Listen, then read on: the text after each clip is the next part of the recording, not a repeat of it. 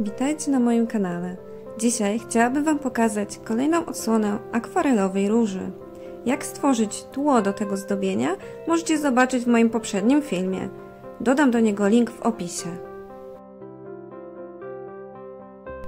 Płatki maluję mocno nasyconym kolorem z małą ilością wody. Następnie czyszczę pędzelek w wodzie i delikatnie odsączam jej nadmiar, po czym rozcieram płatek.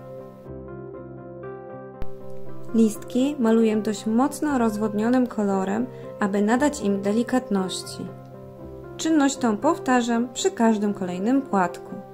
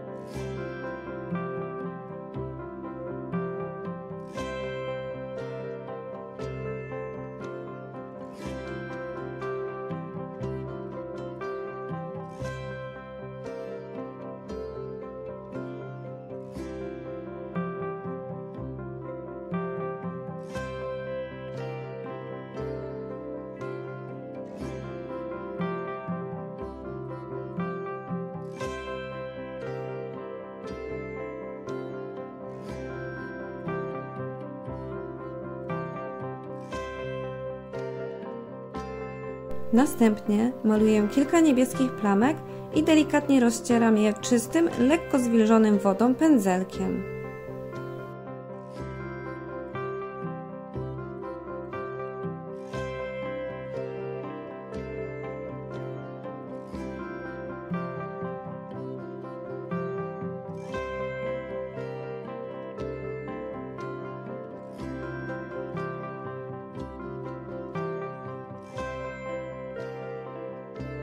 Na koniec brązem maluję delikatne gałązki i całość pokrywam topcoatem.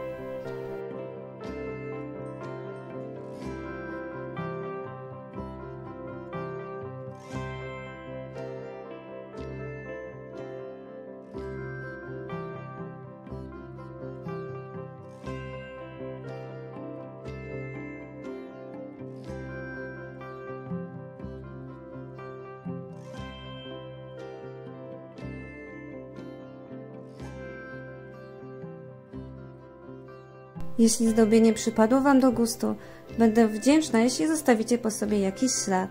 Do zobaczenia!